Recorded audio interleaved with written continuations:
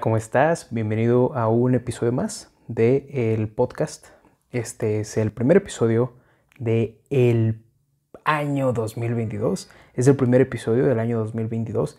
Eh, lo estoy grabando de una manera bastante atípica, bastante diferente, pero de aquí vamos a sacar varias cosas.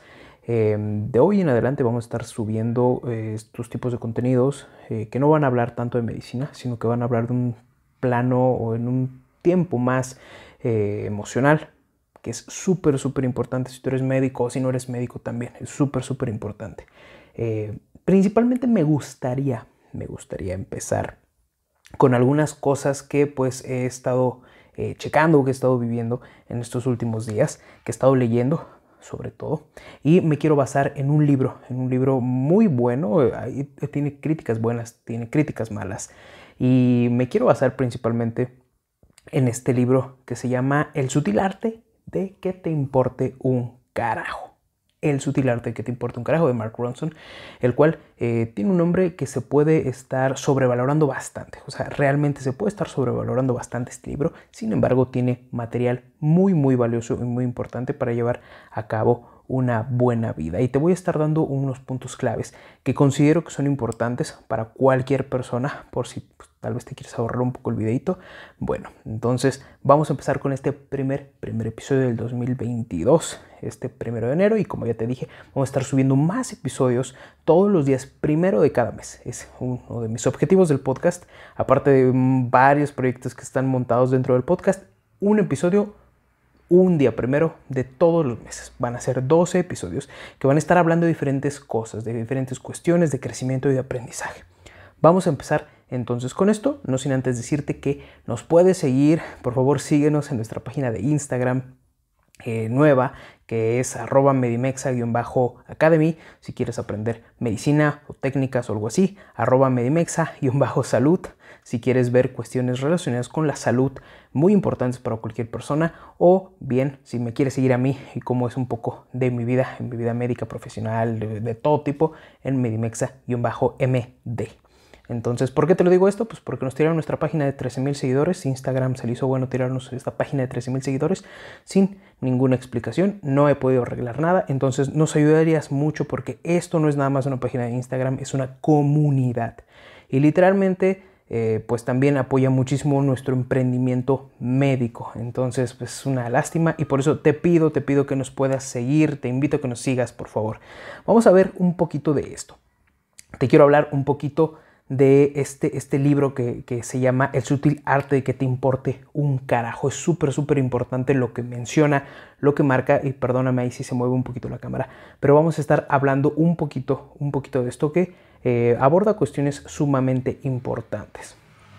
Hay algo en sí, hay algo que debemos aprender a aceptar que es normal. Es normal, perfectamente normal, que siempre va a haber dolor. Sin embargo, el sufrimiento es muy opcional. Sin embargo, también vamos a estar sufriendo mucho durante toda nuestra vida, durante toda nuestra vida vamos a estar sufriendo un montón. Y es algo que no podemos parar, es algo que va a estar ahí. Y no soy un coach de motivación y decirte, va, todo es genial. No, realmente la vida es muy injusta, realmente la vida en muchas ocasiones es una mierda. Eh, pero bueno, espero no tener problemas con la palabra. Pero bueno, eh, y debemos de estar conscientes de ello.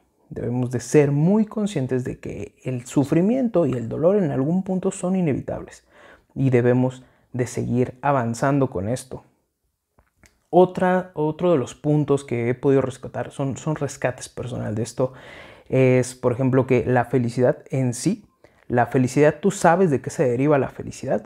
Bueno, prácticamente la felicidad, la felicidad se va a estar derivando de resolver un problema. Nosotros somos gente, seres, humanos, lo que quieras, que siempre vamos a tener problemas, siempre vamos a estar llenos de problemas.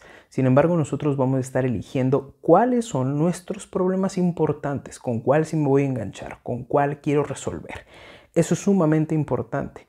Y también esto es un proceso de desarrollo constante y va a estar recayendo en qué? Directamente en encontrar los problemas, los problemas que tú resuelvas con gusto y que disfrutes tener. ¿Cuáles son tus problemas que tú disfrutas tener?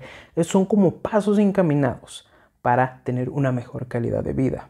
¿Cuáles son los problemas que te gusta tener, que, que, te, que quisieras tener? ¿Quisieras tener problemas, no sé, salvando focas bebés en el Ártico o manejando una empresa multimillonaria o estar, eh, no sé, en Navidad y Año Nuevo salvando gente en un hospital, atendiendo gente en un hospital? Tal vez el problema que tú quieres. Y si es el problema que tú quieres, te va a ayudar a tener y resolverlo y buscar cómo resolverlo. Eso va a ser uno, uno de los pasos que te van a estar llevando a la felicidad. Obviamente, ¿qué es la felicidad? La felicidad no se encuentra en una caja de, cereal. Literalmente la felicidad es un proceso constante que debemos de estar encontrando, pero ¿con qué? Con base en problemas. Y de eso te habla mucho Mark Ronson en su libro, con base en los problemas que tú quieras resolver y que te gusten, que realmente estés disfrutando.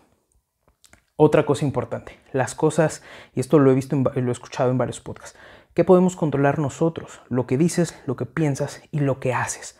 De ahí en fuera, nada más. De ahí en fuera, todo, todo, todo es inevitable. Es, como, es como Thanos.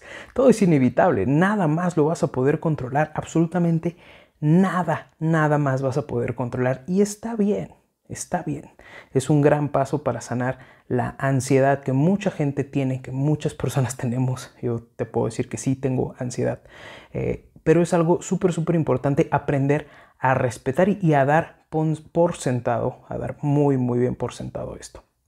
El hecho también, mencionan también, menciona también este libro, que el hecho de perder una oportunidad te puede abrir puertas increíbles, te puede hacer sentirte digno contigo mismo, y además te puede llenar de satisfacción incluso más que la oportunidad que perdiste.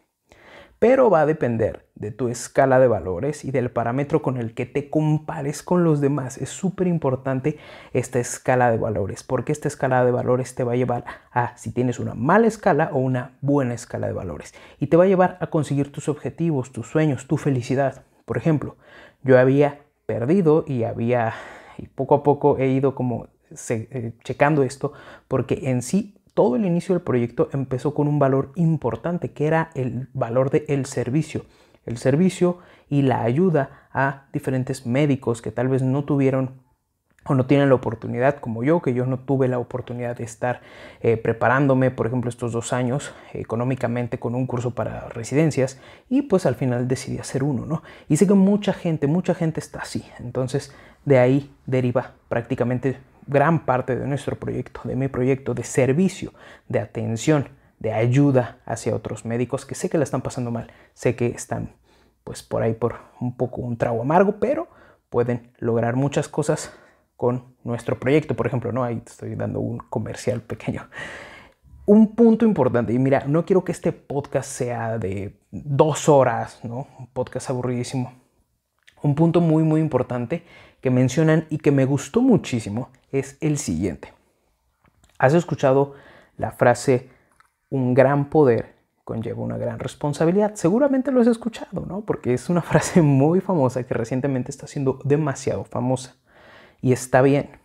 Pero ¿qué pasaría? Mark Ronson te dice que qué pasaría si cambiáramos un poco las palabras y en lugar de que diga un gran poder conlleva una gran responsabilidad, sería una gran responsabilidad conlleva un gran poder.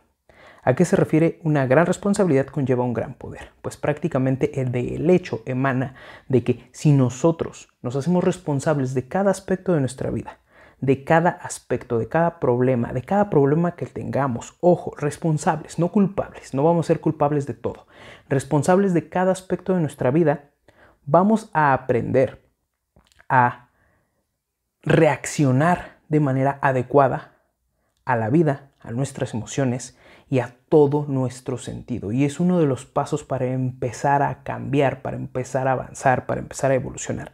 Hacerse responsable de cada una de nuestras acciones, problemas y de absolutamente todo. ¿Responsable con qué? Bueno, tal vez te asaltaron. Tú no puedes controlar eso.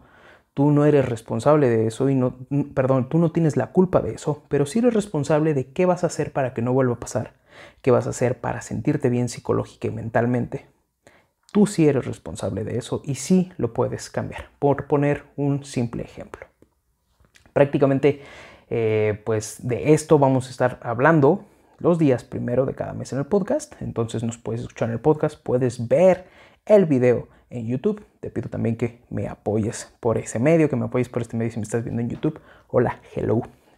Y pues nada más, entonces hasta aquí vamos a dejar este podcast. Espero que te haya gustado, que te haya servido un poco escuchar algo, un poquito de lo que pues he estado aprendiendo en un par de meses, en un par de, de meses, de semanas.